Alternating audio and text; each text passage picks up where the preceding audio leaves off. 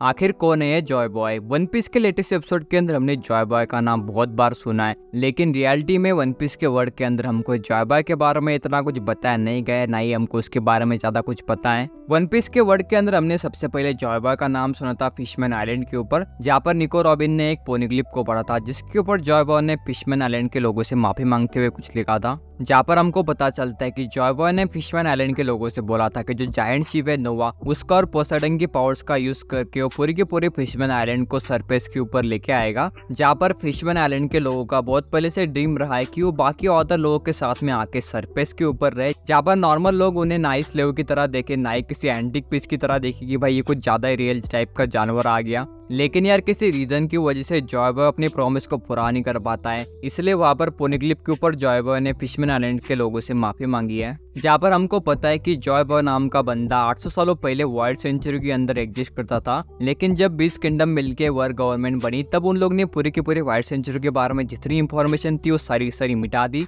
यहाँ तक कि जो लोग वाइल्ड सेंचुरी के बारे में इंफॉर्मेशन रखते थे या वाइल्ड सेंचुरी की लैंग्वेज को पढ़ सकते थे, उन सभी को मिटा दिया, जहाँ पर वर्ल्ड गवर्नमेंट ने पूरे के पूरे और को बस्टर कॉल के अंदर उड़ा दिया। उसके बाद में हमें लेटेस्ट एपिसोड के अंदर पता चला कि वर्ल्ड गवर्नमेंट 800 सालों से एक डेविल फ्रूट के पीछे पड़ी है, जो कि अभी लुफी के पास में है, जिसको हमें शो के स्टार्टिंग से गम गम फ्रूट के नाम से बताया जा रहा है, लेकिन हमको लेटेस्ट एपिसोड के अंदर पता चला कि जो लुफी का डेविल फ्रूट है, वो मिथिकल जोन फ्रूट है, जिसका नाम है एटो एटो नोबी मॉडल निका जो की जॉय बॉय का डेविल फ्रूट है। इसीलिए जब लेटेस्ट एपिसोड के अंदर लुफी काइडो के हाथ से मारा जाता है अपनी डेविल फ़ूड को अवेकन कर लेता है, तब हम देखते हैं कि जुनिशा बोल रहा है कि जॉय बॉय अभी 800 सालों के बाद में फिर से इस दुनिया में वापस आ चुका है। और मैं 800 सालों से ही जॉय बॉय के रिटर्न का वेट कर रहा था, जहाँ पर हमको पता है कि जो जुनिशा है वो एक जॉय बॉय का कंपेनियन है, जिसको जॉय बॉय ने उसके किसी क्राइम को, जिसे पनिशमेंट दिया है, जिसके से वो समंदर के चक्कर काटता रहता है। और जब तक जुनिशा को कोई वाइस ऑफ़ ऑल थिंग्स का यूज़ करके कोई ऑर्डर ऑर्डर नहीं देता, तब तक वो अपनी पनिशमेंट को दोहराता रहेगा। जहाँ पर हम देखते हैं कि जुनेशा को बस दो ही लोग ऑर्डर दे सकते हैं। एक तो है अपना मंकी डी लुफी, जो कि जॉय बॉय है। सेकंड है अपना मोवान उसके, जिसके अंदर ओडेंग का खून बह रहा है। तो बात करें वन पीस की तो हमको पता है कि वन पीस जॉय बॉय का ट्रेजर है, जो कि उसने लापटेल के ऊपर छोड़ के रखा है। और अपना पायरेट किंग गोल्डी रॉजर पहला बंदा था, जिसने वन पीस को ढूंढा था। और उस टाइम जॉय बॉय के साथ में वहाँ पर ओडेन भी था। इसलिए ओडेन को पता था कि जॉय बॉय अभी बीस सालों के बाद में वानों के अंदर अपेयर होने वाला है। इसलिए वो अपने वानों के गेट जॉय बॉय के वेलकम के लिए खोलना चाहता था, लेकिन उसके पहले वो मर जाता है। ओडिन ने अपनी पूरी की पूरी जर्नी को अपने जनरल के अंदर लिख के रखा था, जिसकी वजह से काइडो और किंग को जोबा के बारे में पता चलता है। लेकिन ओडिन ने अपने मरने से पहले अपने जनरल के अंदर से इम्पोर्टेंट पेजेस को फाड़ दिया था, जहाँ पर जब यमाटो को ओडिन का जनरल मिलता है तो उसके अंदर से कुछ पेजेस गायब रहते हैं। जहाँ पर जब काइडो को पता चलता है कि जॉबा अपने मरने के टाइम पे अवेकन होगा, इसीलिए वो बार बार मरने का ट्राई करता रहता है। उसको लगता था कि वो खुद जॉबा है, क्योंकि वो किसी भी फाइट के अंदर हारा नहीं था, इसीलिए वो बार बार मरने का ट्राई कर रहा था, लेकिन हर बार वो ज़िंदा बच जा रहा था। लेकिन इतना सब ट्राई करने के बाद में जब उसको पता चलता है कि वो तो जॉयबा नहीं है, इसलिए वो किंग को बोलता है कि जॉयबा वो बंदा रहेगा जो कि मुझे हराएगा।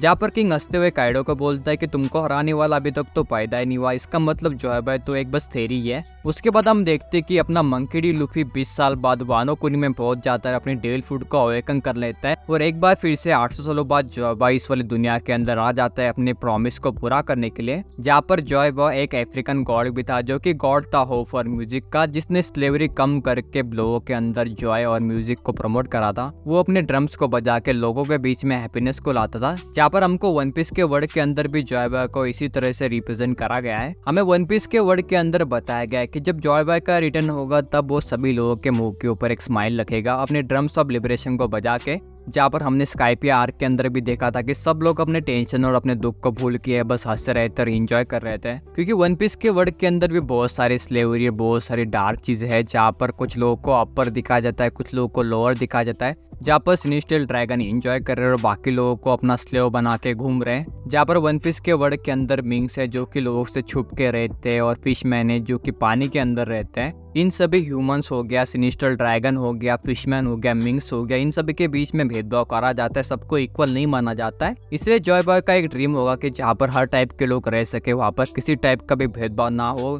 वहाँ पर हर टाइप के लोगों को इक्वली ट्रीट करा जाए, जहाँ पर हर लोग खुशी खुशी रह सके। जैसे की हमने रिसेंट चैप्टर के अंदर देखा था की क्रॉस गिल्ड ने सभी के सभी एडमिरल्स के ऊपर बाउंड्रीज लगा के रखी थी, जहाँ पर लोग इतने ज़्यादा भूखे हो चुके थे की उन्होंने सीधा एडमिरल को मार दिया और वो बाउंड्री कलेक्ट कर ली, क्योंकि वहाँ पर लोगों को खाने को नहीं मिल रहा था। जब लूफी काइडो को अपनी बजरंग गन से हरा रहा होता है, तब कायडो लूफी से एक क्वेश्चन पूछता है कि तुम किस टाइप का वर्ड बनाना चाहते हो? जहाँ पर लूफी काइडो को बोल रहा होता है कि मैं इस टाइप का वर्ड बनाना चाहता हूँ, जहाँ पर कोई भी बंदा खाली पेट न सो। तो जॉय बॉय और लूफी की थिंकिंग एक ही तरह की है, दोनों मिलके एक ही टाइप का वर्ड बनाना चाहते हैं। तो चलो, अभी 800 सालों बाद जॉय बॉय अभी वापस आ चुका अभी देखते जॉय बॉय अपनी पुराने वाले प्रोमिस को पूरा कर पाता है, नहीं कर पाता है। वाइट सेंचुरी के बारे में हमको थोड़ा वो देखेड के ऊपर पता चला था, जहाँ पर हमने एक जायंट रोबोट को देखा था। इसलिए हमको पता चलता कि वाइट सेंचुरी कुछ ज़्यादा डेवलप थी अपने टाइम से पहले, जहाँ पर इतने बड़े बड़े जायंट रोबोट तक थे। शायद से पूरी की पूरी वाइट सेंचुरी इतनी ज़्यादा डेवलप नहीं रही होंगी। वाइट सेंचुरी के अंदर एक ऐसा किंगडम होगा जो कि डेवलप होगा